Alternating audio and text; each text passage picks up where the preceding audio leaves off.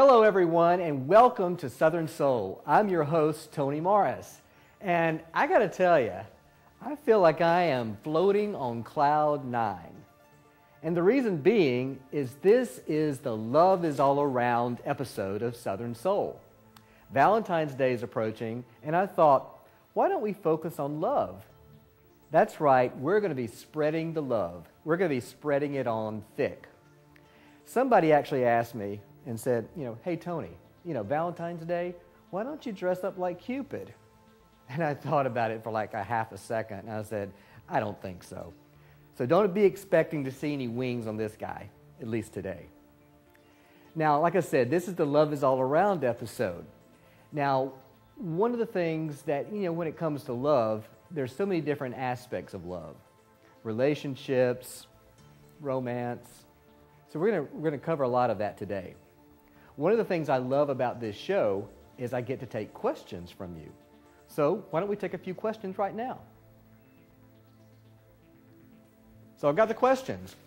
Uh, the first question is I've tried to communicate spiritually with my late husband, but haven't connected yet. Do you have any suggestions? Yeah, I know we all have loved ones who have made their transition, and we still want to be open, have the communication lines open. And that's very possible. That's very possible to happen. Uh, first of all, be open to it. That's, that's number one. Second of all, believe that it will happen. But what I'm going to suggest is don't be so concerned about the way in which it will happen. Meaning, like, don't feel like you're actually going to hear something in your head. Spirits will communicate with us in a number of different ways. They are notorious for providing signs. You know, it could be something that you see on the street while you're walking. Um, it could be uh, hearing a song on the radio that reminds you of that person. So don't, what, what I'm getting at is don't be so specific as to the ways in which a spirit will communicate with you, but be open to it and when you do recognize those signs, be grateful to the universe, ask for continued conversations with that person or that, that loved one, and I guarantee you you'll, you'll have more experiences like that. Happens to me all the time. Okay, second question. What's the future of the New Thought movement? well, I gotta, I, I'm laughing a little bit because I don't really see it as New Thought. I really consider it to be ancient wisdoms. And what I believe is happening, and it's been happening now for a while, more and more people are tapping into it. They're realizing that spirituality is not some hocus pocus, that it's not some kind of newfangled approach, that it's really about the core, the genuine core of tapping into what is real, what is godlike, what is good in this world.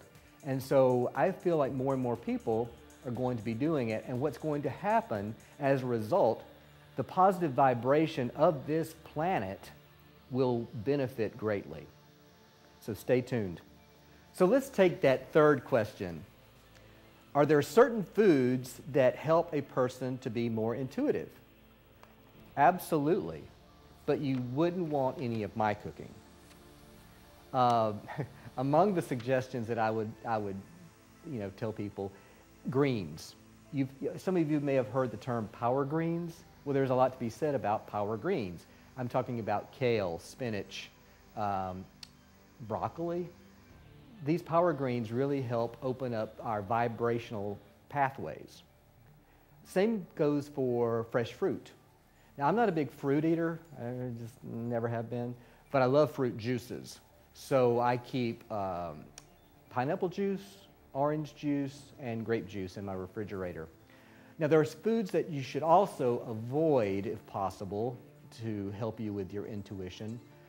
Uh, heavily processed foods. If you have a diet of heavily processed foods, it's probably going to clog up your, vib your vibrational frequencies. Uh, and way too much sugar. You want to avoid way too much sugar because that can hinder your uh, intuition as well. Okay? So thank you for those questions. As you can tell, I'm still on cloud nine because this is the love show. Um, By the way, does this cloud make me look poofy? Just asking. Now, being, you know, this being the love show, it, we should probably talk about love, right? Now, here's a fact. If you're getting married and you're planning a big wedding, uh, there's certain locations that are far more popular than others. And according to the sources on the internet, uh, the top three, among the top three, are Hawaii for a wedding, San Francisco for a wedding, and Viva Las Vegas. Now, for some of us, uh, before we start planning the wedding, we want to attract the ideal mate, right? The ideal person, that romantic interest. So I've heard the phrase, I'm sure you have too, the way to someone's heart is often through their stomach. So join me on a very special dinner date, a dinner date with myself, to where we're going to talk about how to manifest that romantic interest in our lives. Hey, welcome to the dinner date. Me and whoever may show up. You know, one of the big questions that a lot of my psychic clients uh, ask me is, especially when it re relates to romance, is Tony, how do I go about attracting the right person in my life, the right romantic figure in my life? It's a big question. So today I'm going to be the love guru. And we're going to talk about love and we're going to talk about how to attract those right people in your life. One of the things that I always suggest to people is you take a piece of paper and you actually write down the different attributes that you'd like to have your soulmate or your romantic romantic interest have. Now, you know, these can range from uh, do they are they a, an emotional person? Are they a funny person? Do they, do, do they have a sense of humor? They make you laugh. Uh, are they spiritual? You know, are they in touch with their inner self? And of course, you know, you'll probably want to throw in some phys physical uh, attributes as well. And you just write those down and visualize the kind of person that you're wanting to attract. And you might be surprised who may show up at your dinner table. Like this one or that one. Or how about this one? I'm not too sure about that one though. Okay? But I think you get the picture. Do a little bit of role playing. Have some fun with it. Don't be so stressed out about when's that person going to come. And you've got to do some of the work. You've got to do some of the engineering, say. So write down those list of attributes and, and believe in them. Believe that, that they will manifest and they will come into your life. Now, before you do all of that work, there's, there's some prep work that you still need to do. So that, yeah, you'll do that work when the time's right. But before you do that kind of role-playing work and design a date, there's some, some simple steps that you need to take charge of first. Number one, Love yourself. I can't stress that enough. Um, I've had clients that will be like, oh, I don't have anything going for myself. I just can't stand the way. How can you expect to attract someone in your life if you're not even loving, loving yourself? Now, that's not, I don't mean take, take an ego trip. I just mean believing in who you are. And again, so here's an exercise. Write down on a sheet of paper the things that you love about yourself. It can be your smile. It can be how you greet people in the morning. Whatever they are, just write them down. Nothing is too small. The second thing, love people. Nobody wants to be around a grouch, someone who's like, I don't like being around people. I don't like, I don't like how they act. Love people. Love your fellow man or your fellow woman. Write down again some things that you love about people. I like the way they open up my heart. I like the way they make me laugh. Whatever it is, write down a few sentiments about what you love about your fellow man. And finally, love life.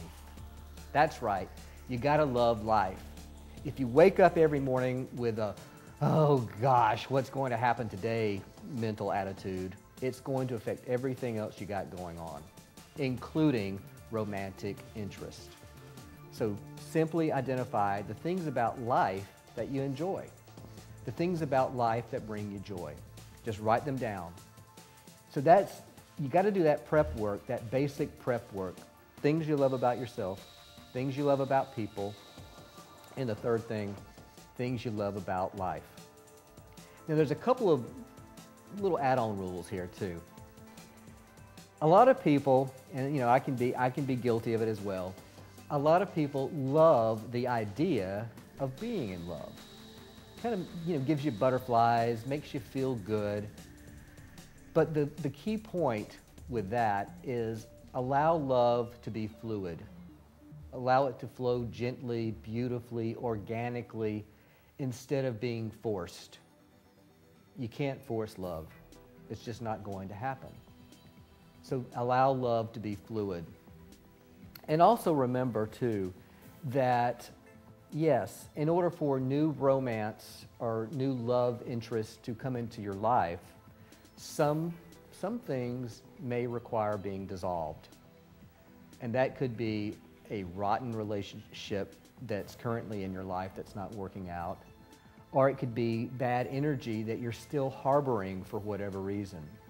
Those are prime examples of things that should be eliminated or dissolved in order for new, positive, healthy, loving energy to come into your life. So as we approach Valentine's Day, I want to raise a glass. Raise a glass and let's send our best wishes to all of us, all of us who believe in love to the lovers out there, I salute you. Now, I know we just talked about love from a romantic point of view, but love isn't just about romance. Love is something that is universal. Love is what makes life a picnic. Think about it. What brings you joy?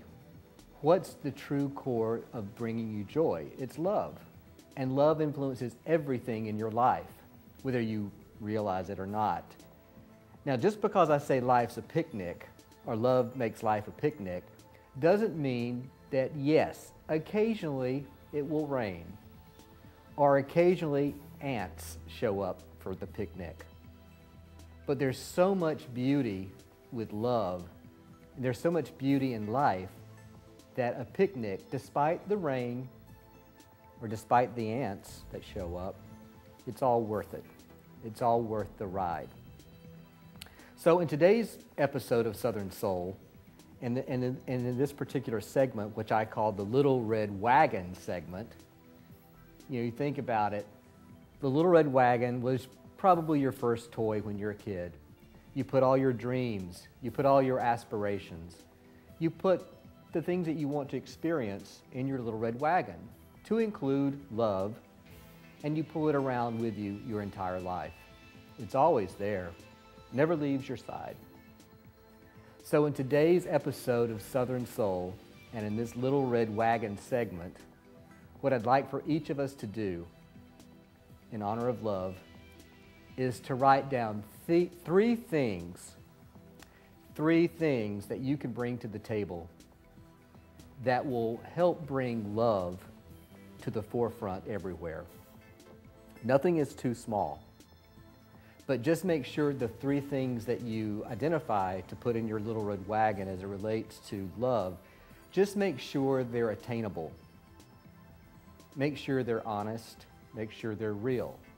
Make sure that you can deliver the goods. Because it's all about activating it and experiencing it and most importantly, sharing it. Share the love. I hope you really enjoyed this special episode of Southern Soul. Like I said, we called it Love is All Around. Thank you for joining us, and until next time, keep rolling.